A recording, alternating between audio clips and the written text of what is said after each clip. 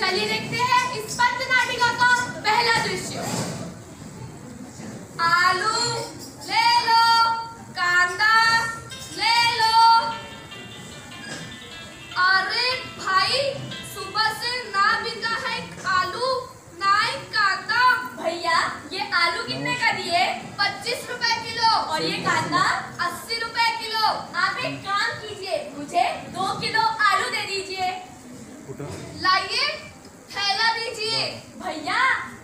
पास थैला वेला नहीं है।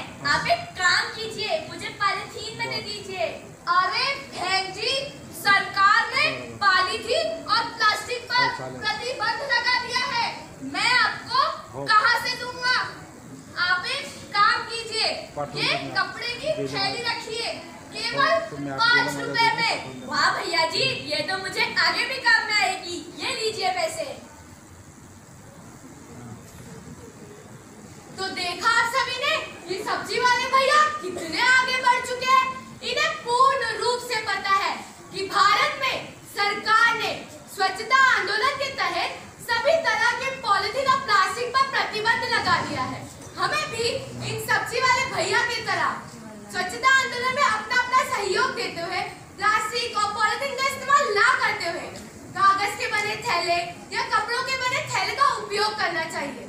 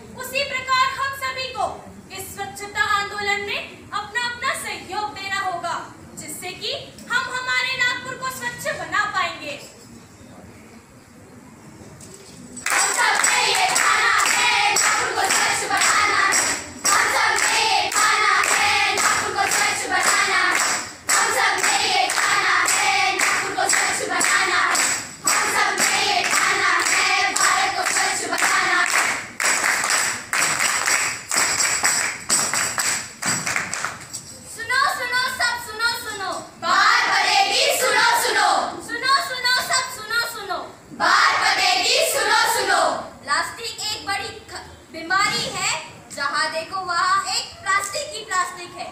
प्लास्टिक का तुम टैप करो cotton bag paper bag jute bag का स्वीकार करो। गाड़ी वाला आया, बसे कचरा निकाल। गाड़ी वाला आया घर से कचरा निकाल गीला कचरा ग्रीन में ग्रीन में ग्रीन में सूखा कचरा ब्लू में ब्लू में ब्लू में गीले का तुम खाद करो सूखे को रिसाइकल करो संपूर्ण स्वच्छता अपनाइए। बीमारियों को